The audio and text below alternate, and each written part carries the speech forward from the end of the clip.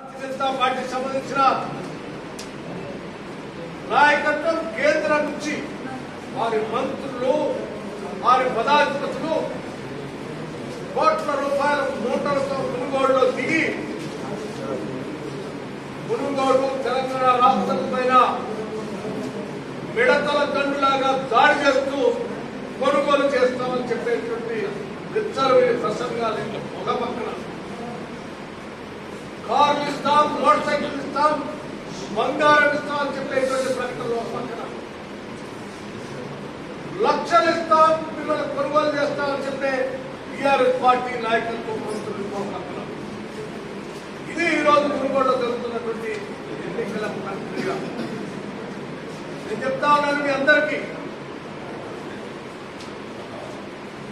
అనేక మంది త్యాగదనులు పోరాట యోధులు ఈ దేశం కోసం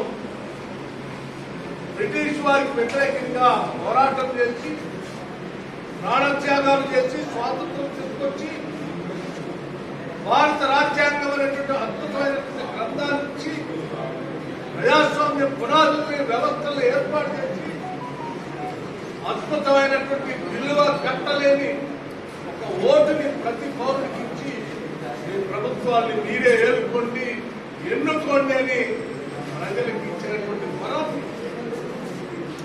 ఈరోజు Bharatiya Janata party TRS party విలువ కట్టలేని ఈ ఓటుని డబ్బులు పెట్టి కొనుగోలు చేసి ఇష్టారాజ్యంగా రాజ్యాలు ఏలాలని ప్రయత్నం చేస్తా ఇది ప్రజాస్వామ్యానికి అత్యంత ప్రమాదకరం. కొనుగోలు ఓటు మహానీయులందరికీ కూడా మేము విజ్ఞప్తి చేస్తున్నాం. మీ ఓటు అత్యంత విలువైనది. విలువ కట్టలేదు. ఎవ్వరూ కూడా విలువ కట్టలేదు. అంత విలువైన ఓటుని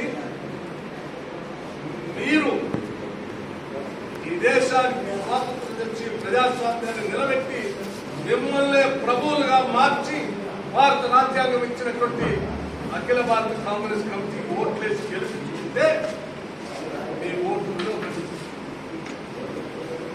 పొరపాటున మల్లారెడ్డి లాంటి వాడు. లేకపోతే భారతీయ జనతా పార్టీకి సంబంధించిన ఇతర మంత్రులు నాయకులు అక్కడికి వచ్చి మేము కొనుగోలు చేస్తున్నాం మునుగోడు అంటే మునుగోడుని అవమానపరిచినట్టు. ఆ అవమానానికి